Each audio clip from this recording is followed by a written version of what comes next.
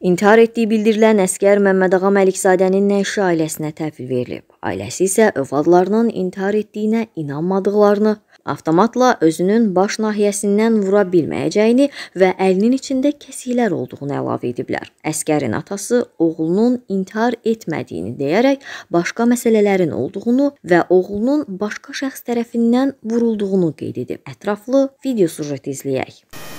Bu uşaq vurulub. Bunu mən 100% deyirəm, ha vurulub.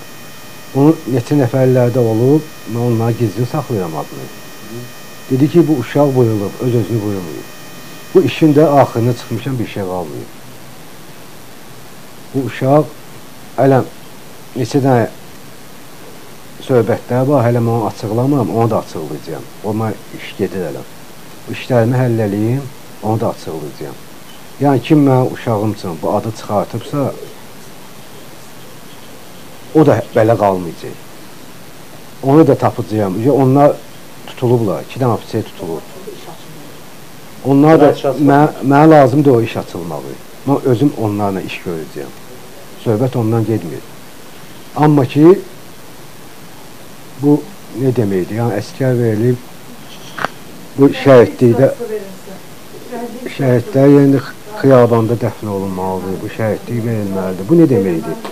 Olmayan şeyi bu 3-4 dənə bayını göndəriblər bura, işi bağlamaq istəyirlər. O söhbət həyatı boyu olmayacaq. Bir ay, iki ay, üç ay. Postlar erməni deyil. Bunlar təkdir istəyirlər postlar. Posta erməni deyib, erməni bu işi erməni bunun başı kesmək istəyir. Əl atıb bıçağa, əllərində kesiklər var.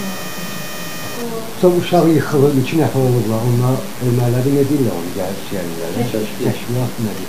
İki nəfər yıxılıb uşaq. Uşağı ya başından vurublar, ya boğazından vurublar. Başından. Başa düşsən? İndi burada hələ bir söhbət var ki, bunlar da bağlamaq istəyirlər. Nüşxan deyirsiniz, ermənidirsə nüşxan. Hə, yox, onun üçün Azərbaycan çəkilişdi axı bu. Erməni gəldi, girdi posta. İndi bunu bacarmırsınızsa mənim uşağım üçün adı çıxır.